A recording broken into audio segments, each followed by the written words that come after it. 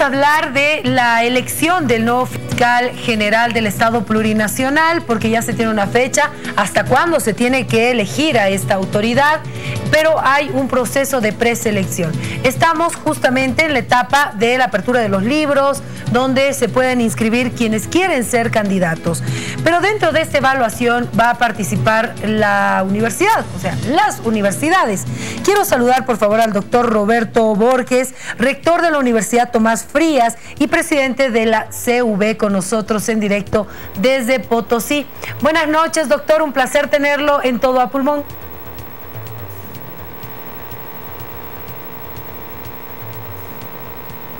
Muchas gracias Priscila, muy buenas noches y agradecido por la invitación. Para nosotros es un placer tenerlo, doctor, porque eh, ya comenzamos nosotros con el seguimiento de lo que va a ser la evaluación a quienes se inscriban en estos libros y presenten todos sus requisitos. ¿Cómo va a participar la universidad en esta selección?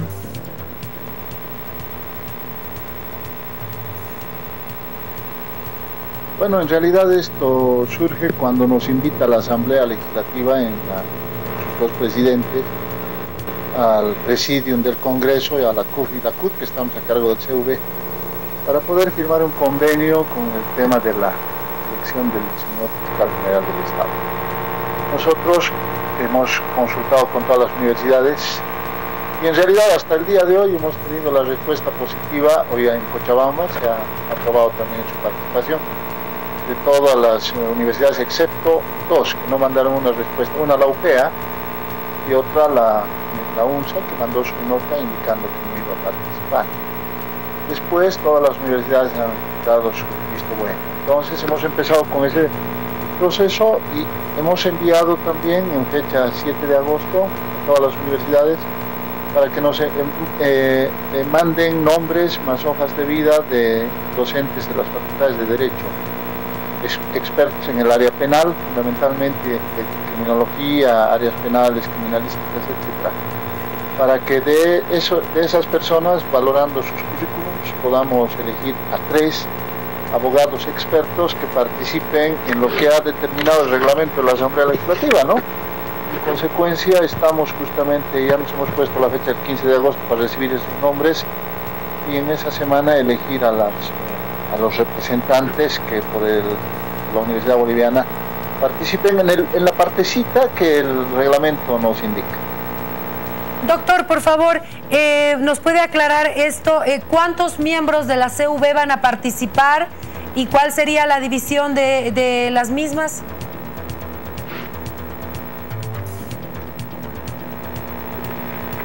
Claro que sí, Priscila. En realidad nos vamos a remitir, lo tengo acá, el reglamento aprobado en la Asamblea, el artículo 7, que es la Comisión de Profesionales.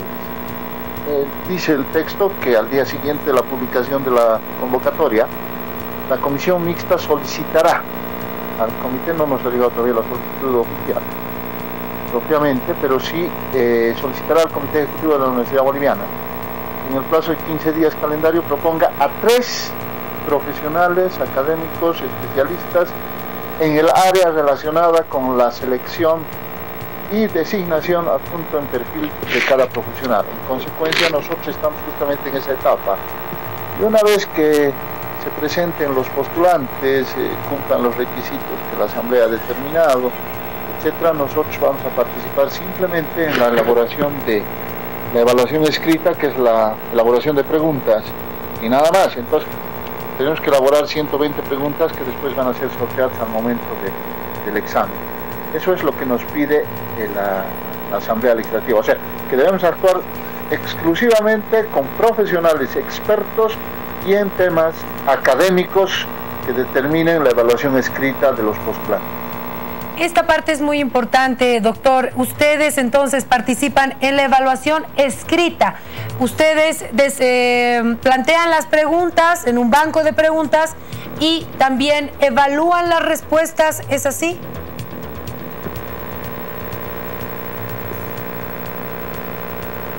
No, la evaluación no está mencionada como tal con nuestra participación, es el artículo 18 del reglamento en sus parágrafos 1 y 2 y 3 en realidad, donde están las materias en las que debe elaborarse las preguntas. Sin embargo, nosotros eh, consideramos importante que así como hemos elaborado las preguntas, participemos en la evaluación.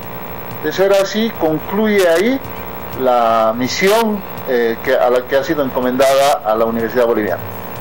Doctor, ¿le parece suficiente la participación de las universidades en una evaluación tan importante que tiene que ver con el fiscal general?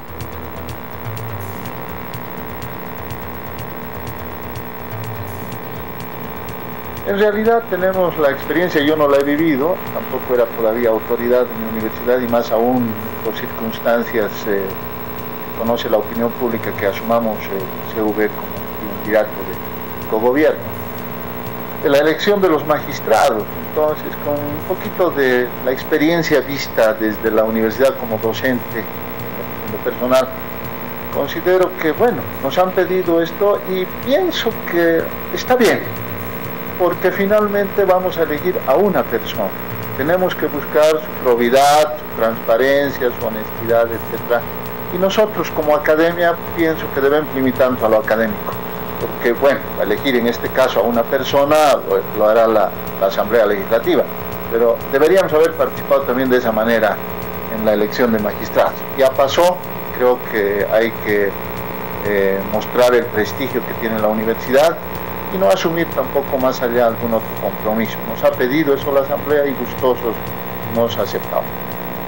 Ahora, doctor, el rector de la Universidad Mayor de San Andrés, el doctor Waldo Albarracín, eh, denuncia irregularidades en la selección y la elección de, este, de esta nueva autoridad. Y es más, dice que la CV está impedido de participar en esta elección porque no se ha llevado adelante el Congreso de las Universidades.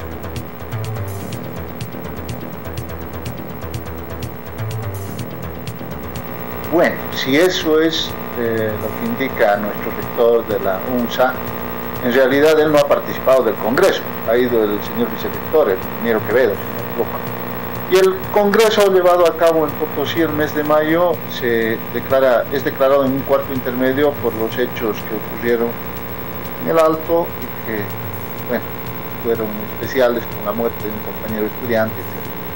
Entonces no hemos llegado a culminar el Congreso pero el CV ha culminado el anterior CV en su gestión. Entonces, automáticamente, el presidium del Congreso asume eventualmente el, manejo del CV y eso está respaldado por todas las universidades. Entonces, no podemos dejar vacío al Comité Ejecutivo de la Universidad Boliviana pero estamos, vamos a reanudar, vamos a llamar a una conferencia de universidades el 23 y 24 de agosto, estamos eh, tomando en cuenta más o menos esta fecha, y ahí también vamos a fijar eh, la reanudación del Congreso en la ciudad de Potosí, la sede no se mueve, más o menos para el mes de septiembre, la segunda quincena del mes de septiembre.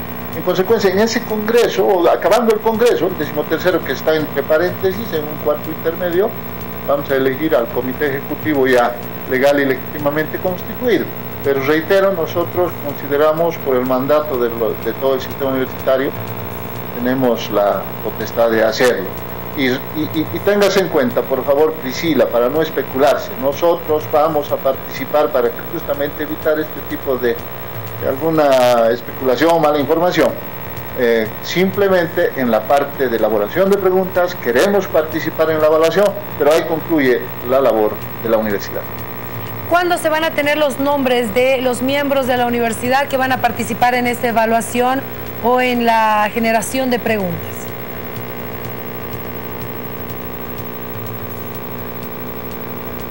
Considero que lo vamos a tener antes de la conferencia de universidades tal vez. Estamos queriendo ver el mejor mecanismo de, valorar el, el, mérito de los docentes o los nombres de los profesionales, abogados, docentes universitarios que nos mande el sistema universitario boliviano, desde luego al, mérito que tenga cada uno de nuestros colegas docentes, vamos a elegir a esos tres. Estamos ahorita en la disyuntiva de saber cómo se va a elegir o si vamos a elegir nosotros o qué vamos a hacer, pero eh, exagerando yo creo hasta el 24 de agosto estaría conformado esto. Nos está apretando el tiempo, pero ya hasta el 15 de agosto, te decía Priscila, tienen que mandar las universidades los nombres de tres profesionales mínimamente, más sus hojas de vida y los, si pueden los currículums para determinar esto. Le agradezco mucho, doctor, por haber estado con nosotros. Esta es una elección importante. Eh, se va a elegir al fiscal general del Estado plurinacional y lo que se quiere es tener a eh, una máxima autoridad del Ministerio Público que sea idónea, que sea profesional, que tenga todas las características que se requiere para un cargo como este. Gracias, doctor, por este contacto y lo vamos a estar molestando cuando conozcamos ya a quienes van a representar a la CV.